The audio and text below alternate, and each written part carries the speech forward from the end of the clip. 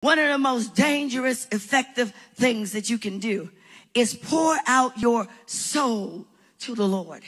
It doesn't matter who's against you, who doesn't like you, who becomes friends in the name of you. Because you know, enemies will get together and connect together that didn't even like each other just to come against you. But it doesn't matter. You ever seen that? They didn't even like each other.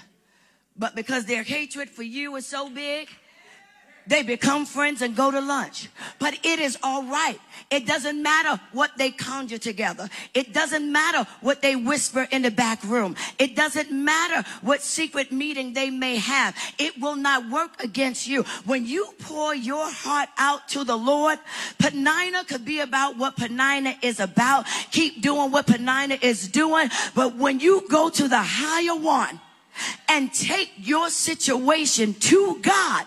You got to know that the Lord hears you. He is the God that sees. He is the God that hears and he is the God that knows. As a matter of fact, some of you are going to receive a breakthrough in your wonder womb. There's about to be a wonder just because they hated you.